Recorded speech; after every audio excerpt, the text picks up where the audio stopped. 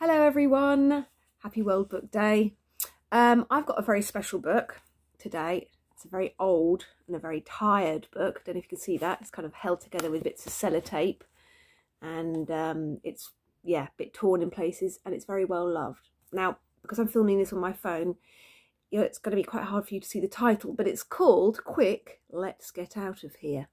And it's by Michael Rosen and the illustrator is Quentin Blake and they often worked together over the years. Now, this is a book I've had for a very, very long time, as you can see, and it is a book of poems. So it's a little bit different. It's not a story. And some of the hedgehogs might remember this because we read some of the poems from here um, during our topic on poetry. Now, this book is filled with Michael Rosen's poems all about his family, which you can see on the front there, and particularly about this little cheeky chap called Eddie, his son. Um, so they're really funny. And I'm going to read my favourite. And look, it opens up immediately on my favourite poem from here. So I'm going to read it to you now. And it's quite funny. It's quite silly. There are some little pictures. It's all about his... There's the pictures his little son called Eddie. Okay, so this poem is called Eddie and the Nappy. Eddie hates having his nappy done, so I say all cheery, Time for your nappy, Eddie. And he says all sad, No nappy. And I say, Yeah, nappy. So I have to run after him going, Nappy, nappy, nappy and he's got these little fat rubbery legs that go round like wheels. So he runs away with a wicked grin on his face, screaming, woo, woo, woo. There he is. Can you see him there? Cheeky.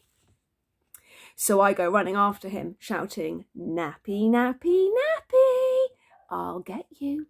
I'll get you until I catch him.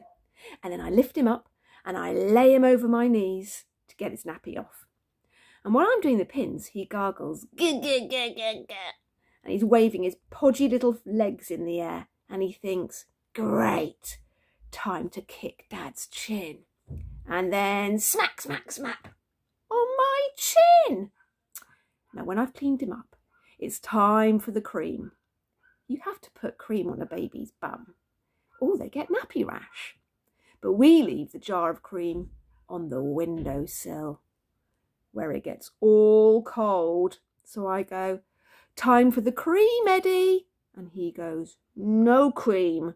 So I say, yeah, cream. And I blob it on. And he goes, oh! You imagine what that would feel like. A great blob of cold cream.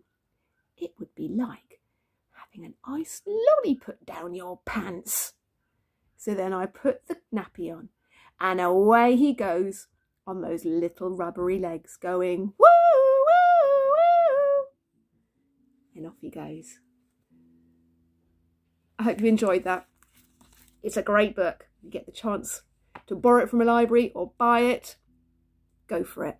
We won't stop laughing. Okay, enjoy the rest of your day. Bye-bye.